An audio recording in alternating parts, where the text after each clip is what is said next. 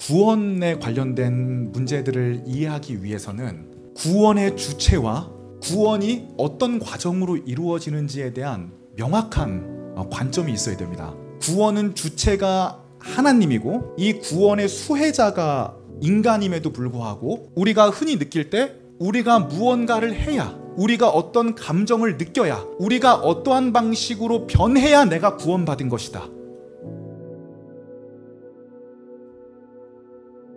인본주의 시대를 살고 있는 우리는 이 구원에 대해서 우리가 이 구원을 위해서 무언가를 노력해야만 아니면 도덕적인 사람이 되어야지만 아니면 내가 구원 이후에 무언가 변화를 급격하게 겪어야지만 아니면 내가 하나님을 세게 느껴야지만 내가 구원을 받은 것이다 라고 하는 이 구원의 주체성이 변화되는 문제를 겪게 됩니다. 그런데 이것이 하루 이틀의 문제가 아니라 2000년 전의 사람들도 똑같은 문제를 동시에 경험했다는 것을 우리가 오늘 갈라디아서 본문을 통해서 알 수 있는데 나 바울이 여러분에게 말합니다. 여러분이 할례를 받으면 그리스도는 여러분에게 아무런 유익이 없습니다. 퀴즈 드릴 게요. 갈라디아 교회에 전해진 다른 복음은 어떤 문제예요?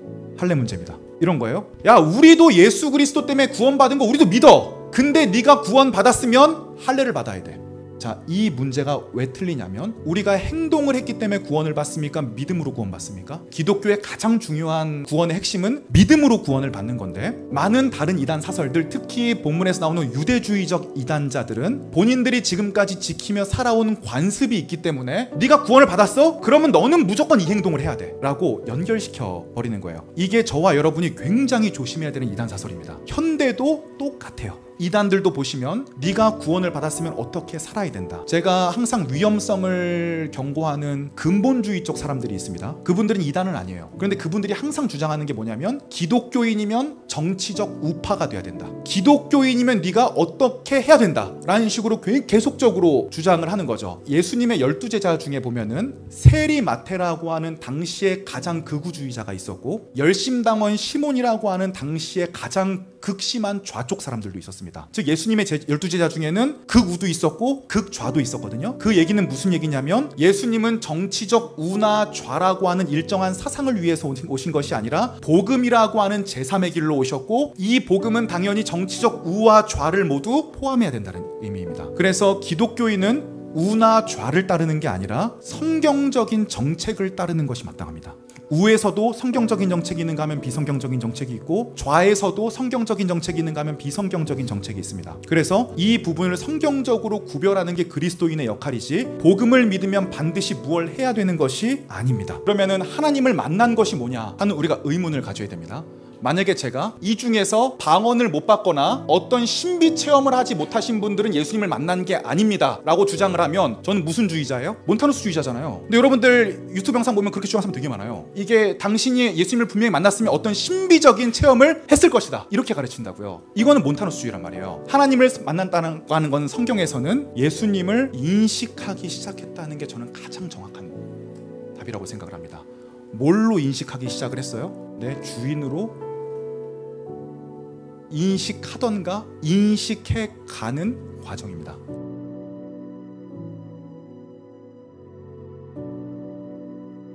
성경에서 죄가 뭡니까? 죄에 대한 오해 때문에 구원론이 많이 흔들리게 되는데 많은 사람들이 죄를 뭐라고 생각하냐면 도덕적이고 법적인 선에 이르게 되는 것을 죄라고 생각하는 경향이 굉장히 많이 있습니다. 어떤 내가 점점 도덕적이고 법적으로 올바른 사람이 되지 못하는 게 죄다. 근데 성경에서 이야기하는 죄의 관은 완전히 다릅니다. 성경에서 이야기하는 죄의 관은 창세기 3장에 보면 하나님처럼 되고 싶은 마음입니다. 그럼 하나님처럼 되고 싶은 마음은 하나님은 구약에서 왕이란 말이에요. 그럼 하나님은 하시는 일이 뭐냐면 통치합니다. 원래는 하나님이 통치하시는데 이것을 인간에게 맡겨줍니다. 그래서 인간은 철저하게 집사님이란 말이에요. 그런데 이제 인간이 어, 하나님이 내 인생 통치하는 거 싫어. 내가 통치하겠어. 하나님의 관점에서 볼 때 원래 본인이 통치해야 되는데 개개인이 내 인생을 통치해야겠다라고 나서는 것에 대해서 당연히 반역으로 보실 것입니다. 아무리 도덕적이고 아무리 좋은 일을 많이 하는 사람도 그 사람의 내면이 성경적으로 볼 때는 끔찍한 죄인일 수 있어요. 왜냐하면 내가 많은 봉사를 해서 내 만족을 누리겠다. 어떤 내가 착한 사람이 된 것 같은 마음을 누리겠다. 라고 하는 게 자기가 인생을 통치하려고 하는 대표적인 경우이기 때문입니다. 그래서 이 죄에 대한 인식이 바뀌어야 되는데 죄는 우리가 도덕적이고 법적으로 올바른 사람이 되고 부족한 게 죄가 아니라 철저하게 하나님처럼 되려고 하는 마음이 죄입니다.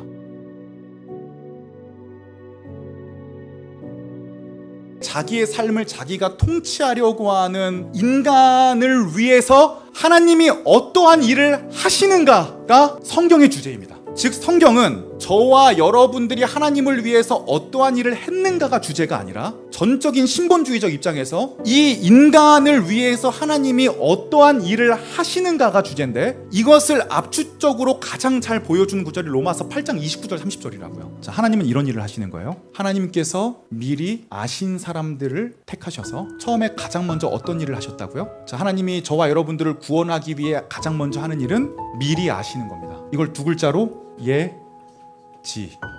하나님께서 이미 우리를 먼저 시간이 시작되기 전부터 아심으로써 시작한다고요. 나를 진짜 아시는 분은 하나님이에요. 자기 아들의 형상과 같은 모습이 되도록 미리 어떻게 하셨다고요? 정하셨어요. 예, 정하셨어요. 그 다음에 그 다음 절 보여주시면 그리하여 하나님께서는 미리 정하신 사람들을 어떻게 하셨어요? 부르셨다고요. 부르심을 두 글자라면 뭐예요? 소명 감사합니다.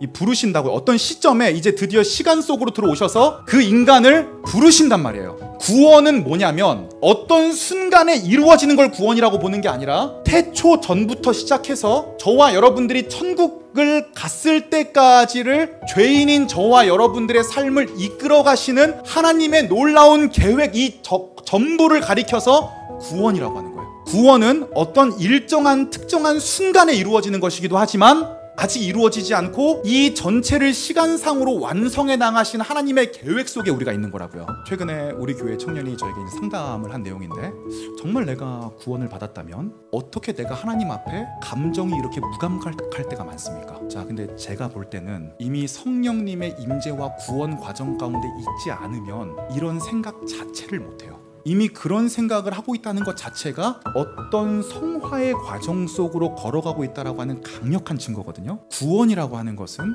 인간의 입장에서 어떤 감정을 느끼느냐 느끼지 않느냐의 문제가 아니라 하나님께서 이미 우리를 위해서 예지와 예정과 소명과 칭의와 양자와 성화와 영화의 모든 과정을 우리 가운데 베푸신 하나님이 일으켜 주신 객관적 사건을 이야기하는 것이다. 그리고 우리가 그것을 내 삶으로 받아들였느냐는 문제예요.